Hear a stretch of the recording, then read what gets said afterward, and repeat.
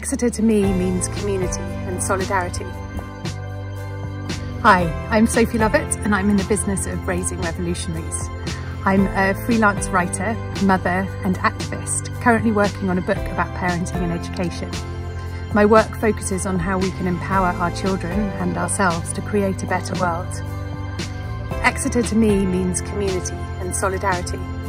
As co-facilitator of the local Mothers Who Make Club, I'm hugely grateful to the wonderful women artists who inspire me on a daily basis. There is so much creativity and grassroots activism happening in the region and I'm very proud to be a part of it.